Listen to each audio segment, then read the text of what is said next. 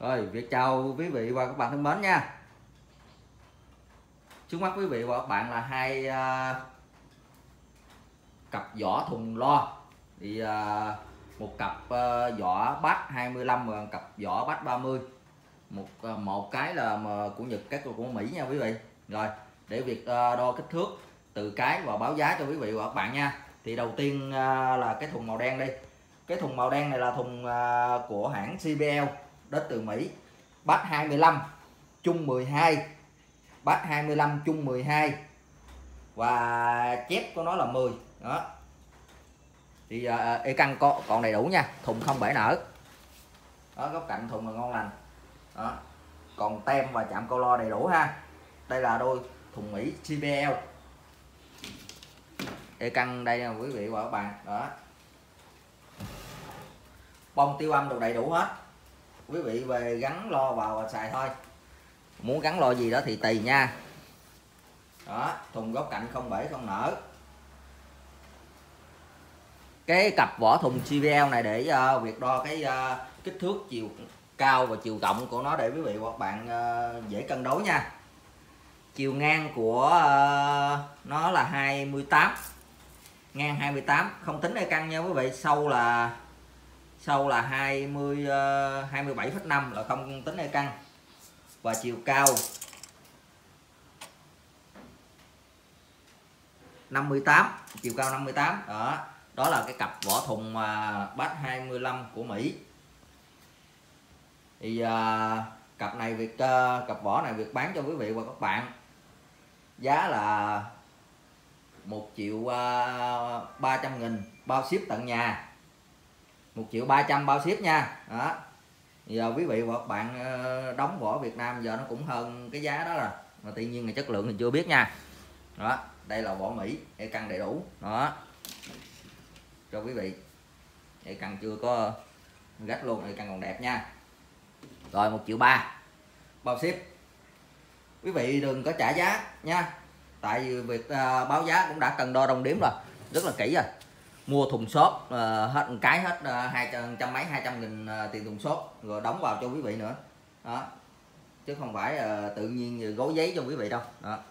Rồi đây là cái uh, thùng lo của hãng sang xui. Cái vỏ này không có e căng.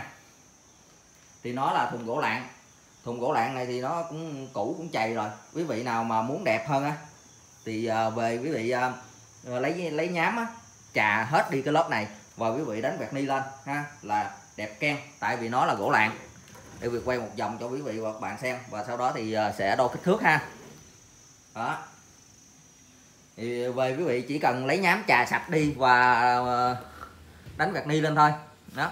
Còn không thì đem mướn mấy anh thợ mộc, mấy anh đào.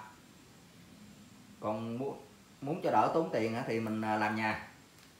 Rồi, thùng không bể nở ha. Như quý vị thấy góc cạnh thùng không bể nở. Góc cạnh thùng không bể nở cũ theo năm tháng thì đương nhiên. Vì gỗ lạng thì rất là dễ. Chỉ đánh vẹt ni lên ờ, trà sạch đánh vẹt ni là xong. Đó. rồi, bây giờ việc sẽ đo kích thước của thùng này để anh em ờ, cân đối nha.